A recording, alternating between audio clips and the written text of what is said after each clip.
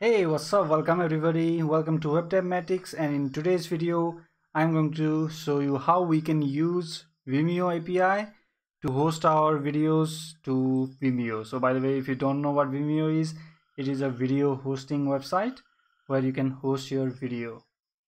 So this Vimeo API allows us to upload videos directly to Vimeo from our web application so we might have some kind of application. We might want that functionality in our website.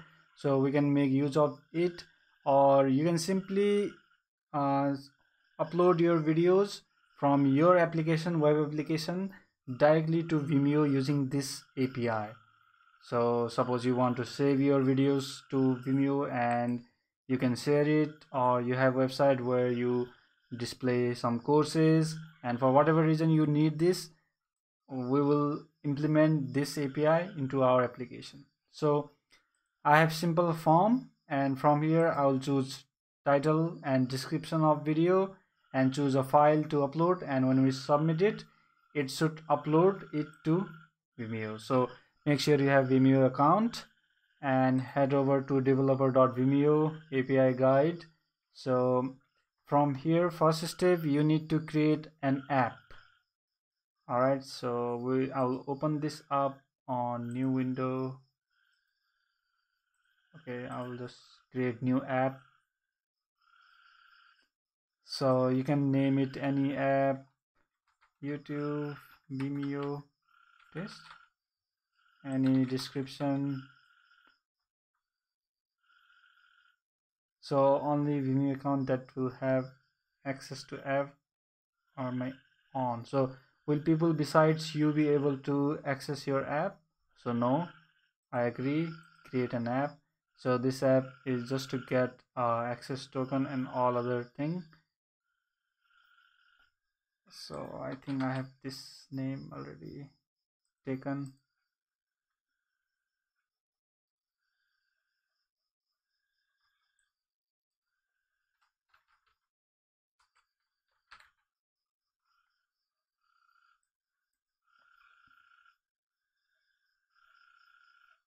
all right so so here we get client identifier client id and we should get client secrets.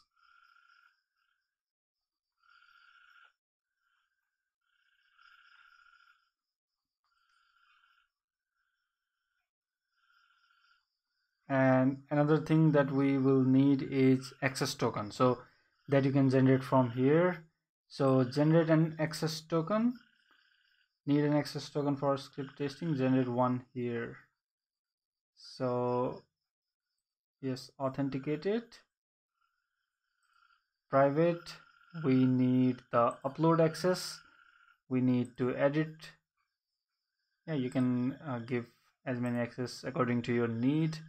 So i will hit generate. And here is your token. You can just save it controls.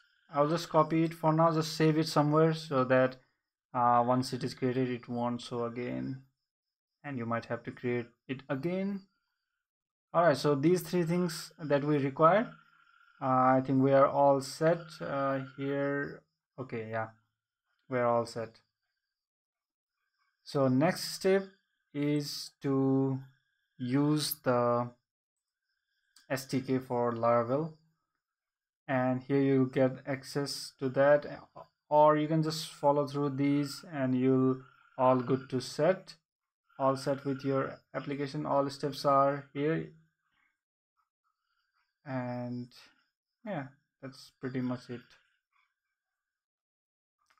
So let's go ahead and install an SDK which will make our task a bit easier. So you can use vimeo.php or laravel. In my case i'll use this laravel. So here's our application. Just open up terminal and require that.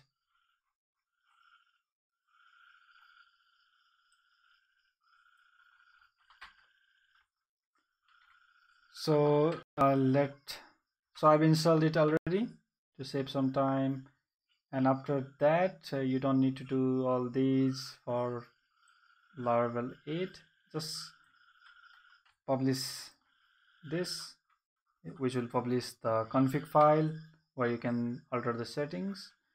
And I will just copy this into my .env file. So let me make it a bit bigger so that you can see all those who are using from mobile device you can see it clearly. So in .env uh, just you need to put this and put the value. So access token value that we just copied. This is the access token and client and secret. So secret one is a bit longer and client one is so I've already uh, included all these to save some time. So once that is included and your SDK is installed you are all set to upload your videos. Alright so you can just simply upload like this. Okay so I have created this form and I have set up one endpoint to store the data that will be sending from this file. So let me show you web.php here is where is yeah. So here are two endpoint videos upload which is pointing to create video uploader and store. Let's let me take you to video uploader. So it is pretty simple just one view to show the form and one to handle the request post request so i'm validating that file must be required and should be of type video maximum size 60 about 60 mb and now what we need to do is we need to inject the video manager. This class we'll need this class to upload our video. So in this there is upload method where you can supply the supply your video let me show you form. So this is the form pretty basic form submitting to request to here. Form data and type of file name video. And then we are grabbing that video file over here. And we are we have to send additional parameter like name of video file and description. And what it will do is it will give us a URI of the video file that you just created. All right so while this so first let's uh, let's go one step at a time. So let me first do up to this step so that it will be easier for you to understand. Let me give you some title and description. By the way name this title should be coming from our form I think I have given it title and description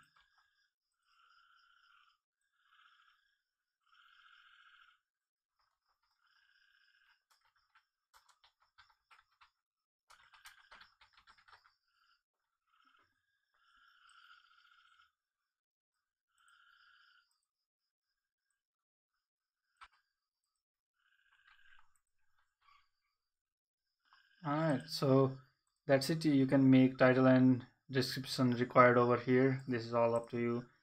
All right so now let's up upload the file. Let's give a title. First file.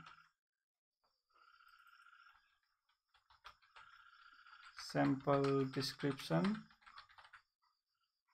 Choose the file that you want to upload. And let me this upload this one let me submit it. Okay file field is required. Uh, let me I'm sorry about that. It should be video because I have given the name video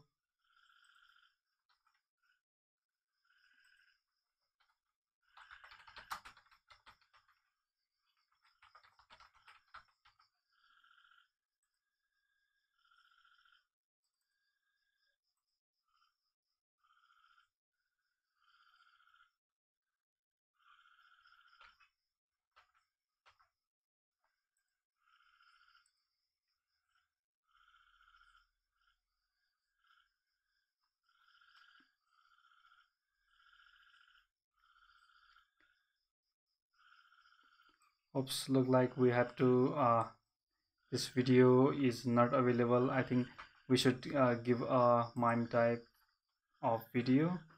So Laravel validation.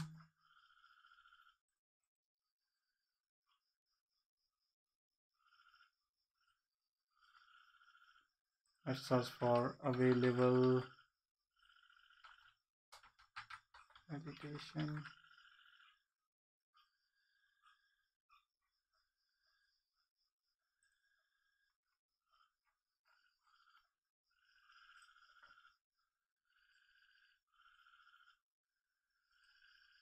so here I think we can do something like this MIME type. I think there is no video.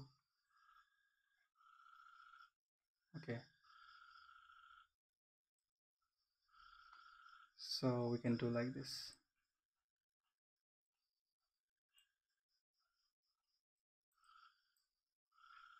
Just copy it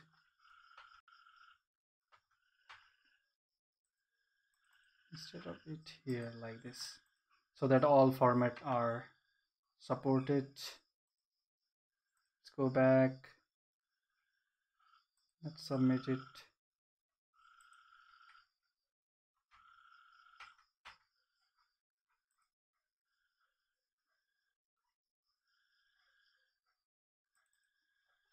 Video mp4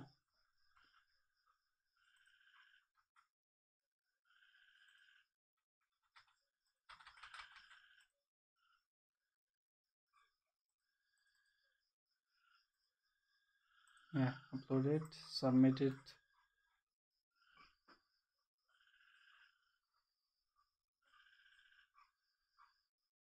Okay so our file is successfully uploaded. This is uh, the URI that is returned by Vimeo which will point to the video on your dashboard. So this will be the video ID where your video will be. So here it is. So it is uh, still transcoding zero percentage. So it is still processing our video. And what you can do is to get the status of your video you can pull or you can send a request to uh, endpoint. So let me show you that. I've tried this uh, api before and so here is upload status so it is a good idea to create a separate service class and put all the method there instead of directly uh, doing all upload yourself in controller. So all the logic should be on service rather than on controller. So for simple tutorial like this we basically do something like that. Okay so if we send a request to this endpoint we will get the status of our video. So you might want to send the ajax request to that endpoint to get the status of your video. So let me show you that. Suppose we have uh, this endpoint where we can test our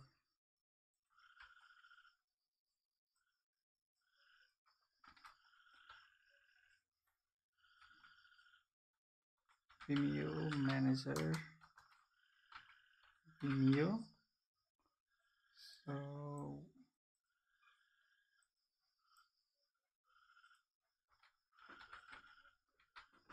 so in this um, in this variable we can call this Vimeo method and we can call the request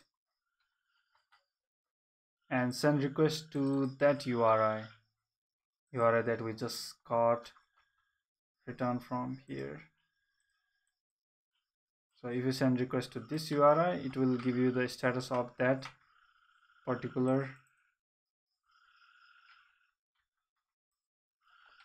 yeah that particular video. All right this is the way to get the video status. Okay. Result. Let me show what we got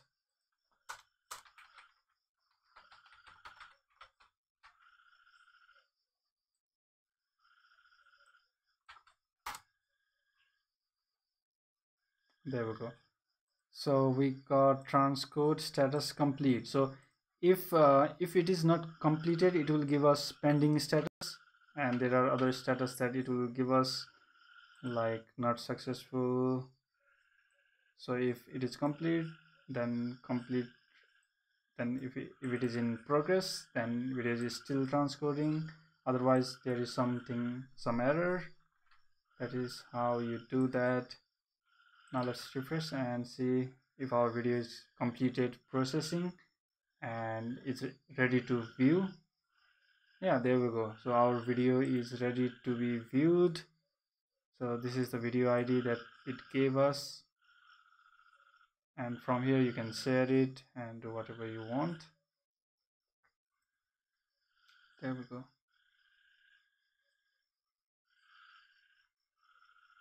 All right so by the way this is our website webdemi.test uh, that we have created uh, laracast like uh, video service. There's a project called advance. Let me show you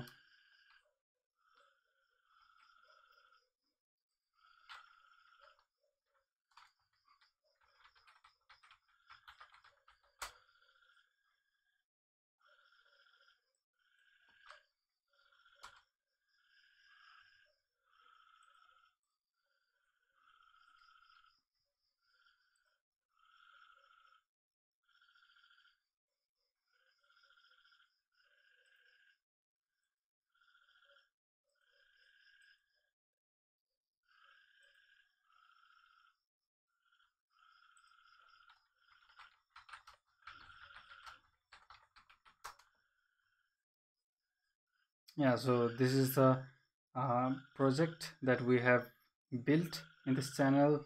You can just search for this advanced laravel 6 project. You'll get to see this. You can just watch that.